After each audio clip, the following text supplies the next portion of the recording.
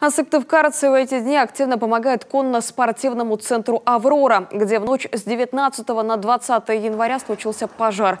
Как сообщила руководитель центра Наталья Денисова, на сегодня есть договоренности с предпринимателями о поставке необходимого количества сена. Решен вопрос о доставке бытовки, где сотрудники школы смогут согреться и переодеться.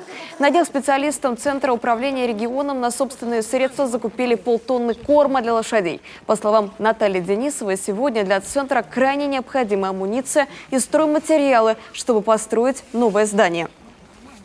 Нам очень сильно нужна амуниция, поскольку сгорело практически все тотально. Нам даже не в чем выехать в город поработать, нам не в чем проводить тренировки, занятия с детьми. И, конечно, нужна закупка амуниции, хотя бы какой-то части ее, чтобы мы могли начать нормально функционировать. В эти выходные 23-24 января Центру понадобится помощь неравнодушных граждан для разбора сгоревших зданий. Адрес конно-спортивного центра Давпанская, 61.